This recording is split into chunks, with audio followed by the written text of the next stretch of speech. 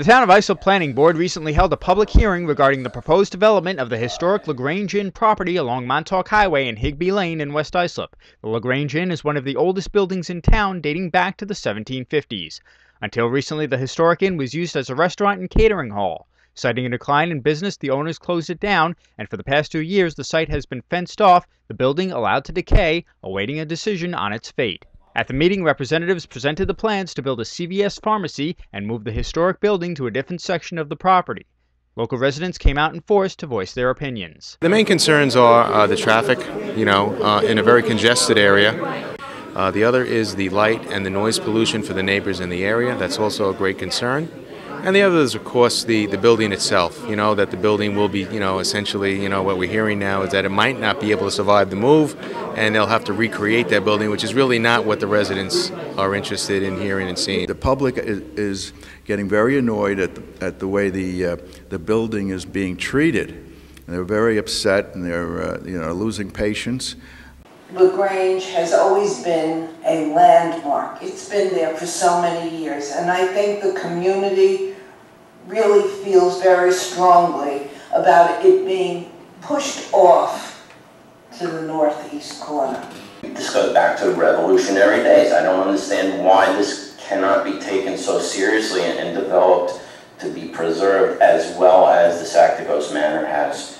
But we just don't see that very much regard or respect is being given to the historical value of that property. And in West Islip, it probably is the most important historical piece of property. I mean, you've all seen this sign out in front of the property on Montauk Highway, it was erected by the town of Islip.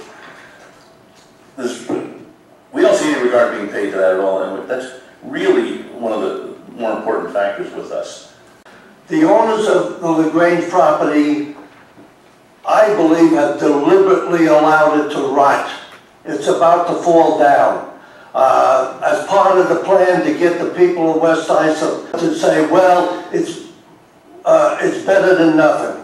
Whoever owns this property right now, he should be fined for not cleaning it up, for putting a fence up, for tearing the place after pieces. He should be fined by thousands of dollars. Traffic will be just absolutely horrible. And for people, you know, to use the drive-through for prescriptions, it will resemble gas lines. And they're going to be, and they'll be lined up on Higbie Lane to come in and, and to go down and, and, and wait in line for, the, for their prescriptions.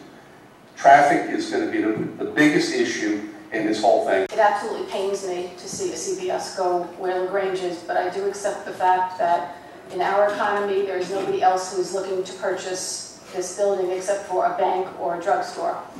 I think that the board has to be very, very conservative as to what they allow, and I think a drive-through window, you're opening a Pandora's box to a lot of problems. We, you all know the traffic on Montauk Highway. We know something's got to be done, it's a mess. But this is ridiculous with the drive right behind my house. You might as well take my house, put it right in the middle of Higbie Lane and Montauk Highway on the island. Because what's going to happen, all that traffic that's coming south is now, everybody's going to decide to turn on Wilhelm Lane. They're going to, that's going to be like a parkway on Wilhelm Lane.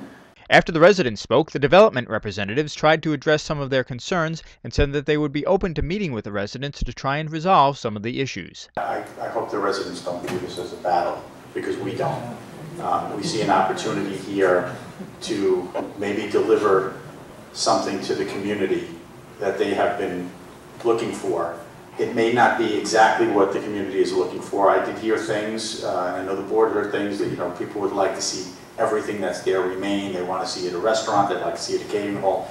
I just don't think that's going to happen. To be consistent with the way the, the planning board and the town board has treated historic properties in the past, um, usually there have been creative solutions to um, allowing the redevelopment of those properties, but at the same time preserving those structures. So from a comprehensive planning standpoint, um, I think the application uh, does provide an opportunity for um, a hybrid application here where, where some level of economic development, frankly putting the, the, the, uh, the parcel back to productive tax roll, um, again, uh, along with preserving the, the existing structure is, is an opportunity here. The planning board chose to reserve the issue for a later date but encouraged residents and the developer to talk about their issues. Chris Collora reporting, Long Island Online News.